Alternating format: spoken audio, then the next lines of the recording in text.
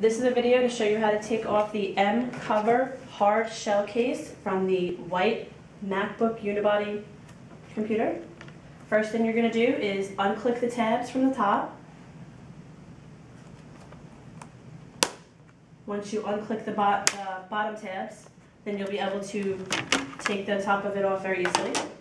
Then you're going to turn the computer on its side so that you can get the bottom part. Easier if you don't close it. There you go.